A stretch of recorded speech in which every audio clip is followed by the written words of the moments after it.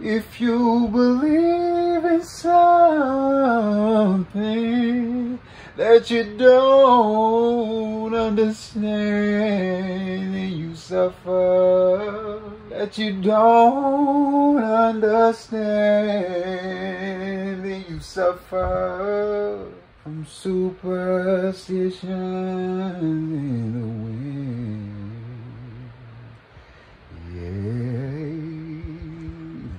as the word would put it, my people perish for lack of knowledge.